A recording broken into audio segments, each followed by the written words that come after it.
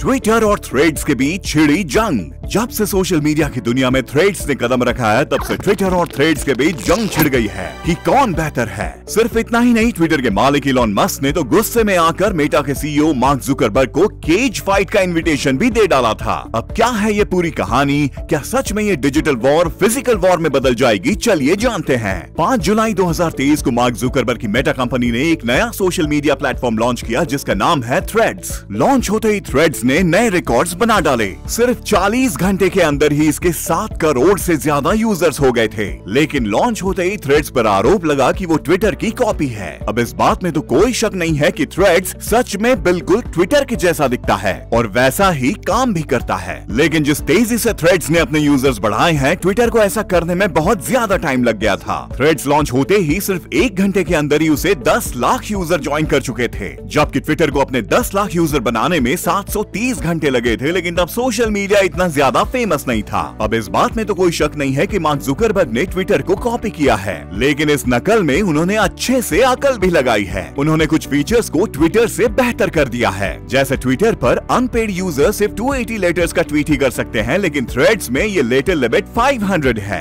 इसके अलावा ट्विटर पर सिर्फ़ दो मिनट बीस सेकंड का वीडियो ही पोस्ट किया जा सकता है, लेकिन थ्रेड्स पर पाँच मिनट की वीडियो पोस्ट हो सकती है। इसी तरह ट्विटर पर एक बार में सिर्फ़ चार फ़ोटोज़ पोस्ट हो सकती हैं लेकिन थ्रेड्स पर एक बार में दस फ़ोटो पोस्ट हो सकेंगी। इसके अलावा थ्रेड्स और उसकी सभी सर्विसेज़ अभी तक यूज़र्स के लिए एकदम फ्री हैं, जबकि ट्विटर पर अब बहुत सारी सर्विसेज़ को पेड कर दिया गया है। लेकिन अभी भी कुछ मामलों में ट्विटर थ्रेड से आगे है जैसे ट्विटर के सबसे फ़ेमस फीचर्स है ट्रेंडिंग सेक्शन और हैशटैग्स लेकिन थ्रेड्स में अभी तक ऐसे कोई फीचर्स नहीं है। थ्रेड्स अभी सिर्फ़ और सिर्फ़ मोबाइल में ही यूज़ किया जा सकता है उसका डेस्कटॉप वर्जन अभी अवेलेबल नहीं है। थ्रेड्स में किसी को भी डायरेक्ट मैसेज नहीं किया जा सकता है, जो ट्विटर पर पॉसिबल है। थ्रेड्स पर पोस्ट एडिट का ऑप्शन नहीं है, जो ट्विटर पर पेड यूज़र्स को दिया गया है। सबसे बड़े रिस्क की बात यह है कि अगर आप अपना थ्रेड्स अकाउंट डिलीट करेंगे तो आपका इंस्टाग्राम अकाउंट भी डिलीट हो जाएगा। अब हो सकता है कि आने वाले टाइम में ये सारे फीचर्स हमें थ्रेड्स में भी देखने को मिल जाएँ। लेकिन थ्रेड्स के आने के बाद इलॉन मस्क काफ़ी नाराज़ है। उन्होंने मार्क जुकरबर्ग पर ट्विटर को कॉपी करने के साथ साथ ये भी आरोप लगाया है कि उन्होंने ट्विटर के कुछ एम्प्लॉयज़ को भी अपनी तरफ़ मिला लिया है। उन्होंने ट्वीट भी किया है कि competition is fine but cheating is not